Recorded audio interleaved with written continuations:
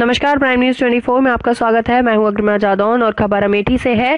कल दिनांक 9 ग्यारह 2020 को यातायात माह नवंबर 2020 के नवे दिवस यातायात पुलिस जनपद अमेठी द्वारा यातायात जागरूकता मिशन शक्ति अभियान के दौरान आम जनता को यातायात के नियम पालन करने व मिशन शक्ति के अंतर्गत थानों पर स्थापित महिला डेस्क व शिकायत पेटिका के संबंध में जानकारी दी गई तथा यातायात नियमों से संबंधित व मिशन शक्ति से संबंधित बैनर व पोस्टर लगवाए गए, स्टिकर चिपकाए गए तथा आम जनता के लोगों को पैम्पलेट देकर जानकारी दी गई। बिना हेलमेट लगाकर वाहन चलाने वालों को हेलमेट लगवाए गए तथा बिना सीट बेल्ट लगाए वाहन चलाने वालों को सीट बेल्ट लगवाई गई। व शीत ऋतु में पहन, पड़ने वाले कोहरे से होने वाली दुर्घटनाओं के रोकथाम हेतु वाहन में रेट्रो रिफ्लेक्टर टेप लगवाए गए। साथ साथ उनसे यातायात नियमों का पालन करने, जैसे नशे की हालत में वाहन न चलाने, निर्धारित मानक से अधिक सवारी न बैठाने, वाहन चलाते समय मोबाइल फ़ोन न प्रयोग करने व अवयस्क को वाहन न चलाने देने सीट बेल्ट का प्रयोग करने, दो पहिया वाहन पर हेलमेट का प्रयोग करने आदि के संबंध में निवेदन भी किया गया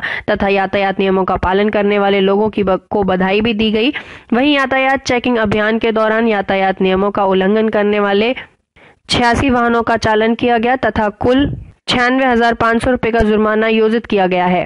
प्राइम न्यूज़ 24 के लिए अमेठी से ब्यूरो चीफ अनिल दुबे के साथ कोनिन मदार की रिपोर्ट।